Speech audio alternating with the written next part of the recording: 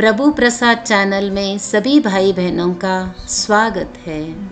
आज कज्जाया बनाएँगे दक्षिण भारत में विशेष करके यह कज्जाया चावल और गुड़ से बनाते हैं। तो इसके लिए एक दिन पहले चावल को भिगाना होता है। तो देखिए, अभी मैं एक ग्लास चावल धो के दो तीन बार धो के इसको भिगा रही हूँ। ये 24 फोर आवर्स माना 24 घंटा भिगा के रखना पड़ता है। सारे दिन में दो बार पानी चेंज करके। देखिए, ये ऐसा होता है भीगने के बाद।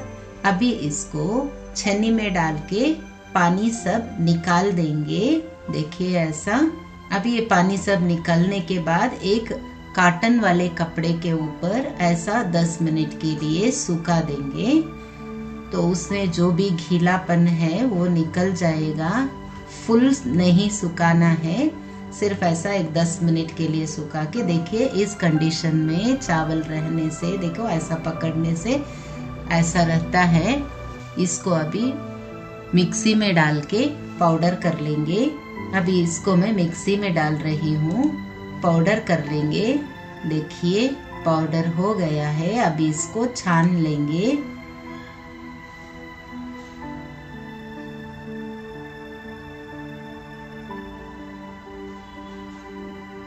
देखिए, छानने के बाद अभी इसको ऐसा इकट्ठा करके रख देंगे।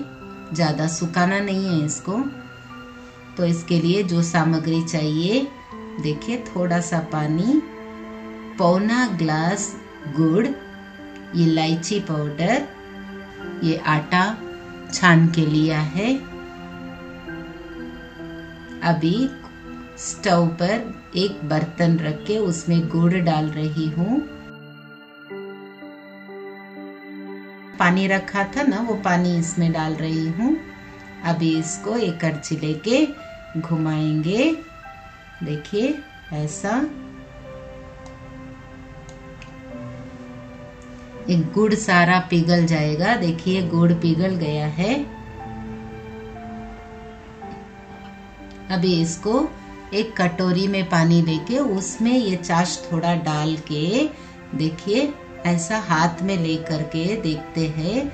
देखिए कितना अच्छा ये पाक रेडी हो गया है। इस कंडीशन में अभी आटा इसमें डालते घुमाएँगे। थोड़ा थोड़ा करके आटा डाल के घुमाते जाएँगे। कई बार आटा ज़्यादा उठाता है, कई बार कम उठाता है, वो देख करके हमको लेना है। देखिए इसको अच्छी तरह से मिक्स करेंगे। देखिए ऐसा। हलवा के जैसा ये तैयार हो रहा है। देखिए, ये अच्छी तरह से मिक्स करेंगे।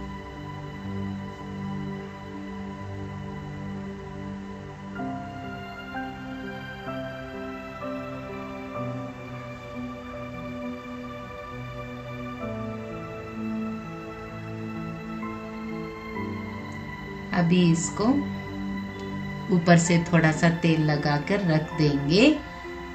देखिए कितना अच्छा हो गया है। इसमें यालकी पाउडर डाल रही हूँ।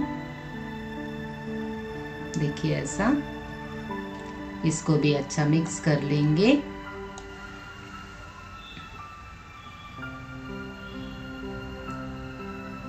अभी इसको लोहिया बना लेंगे।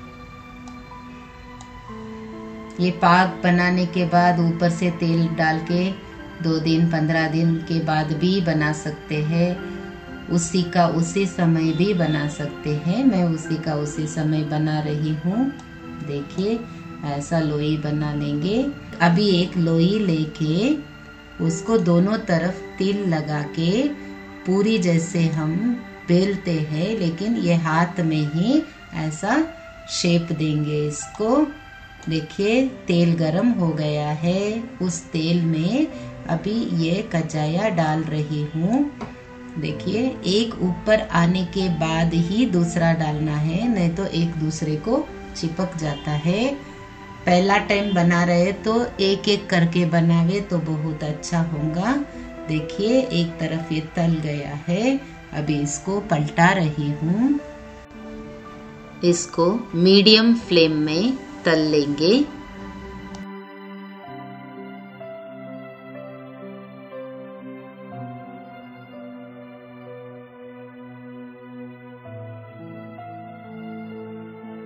देखिए, दोनों तरफ़ रोज कलर हो गया है। अभी इसको एक करची के सहायता से एक के ऊपर एक ऐसा रख के थोड़ा दबाने से जो इसमें तेल होता है वो निकल जाएगा। देखिए, ऐसा मैं अभी दूसरा भी आपको बना के दिखाती हूँ। देखिए, ऐसा निकाल देंगे। देखिए, लोई लेके दोनों तरफ़ तिल लगा के फिर इसको ऐसा शेप देंगे।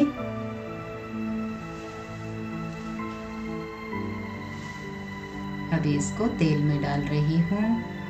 दोनों तरफ़ अच्छी तरह से तल लेंगे।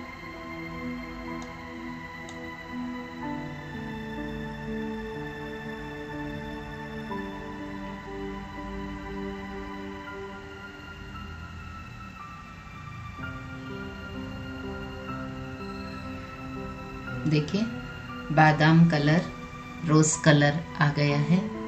देखिए अभी इसको एक दूसरे करची के ऊपर ऐसा तेल सारा निकल जाएगा ऐसा दबाने से। देखिए कचाया रेडी हो गया है। अभी इसको सर्विंग बोल में निकाल रही हूँ। कितना सुंदर कचाया साउथ इंडियन टोली, चावल की टोली रेडी हो गया है। कचाया रेडी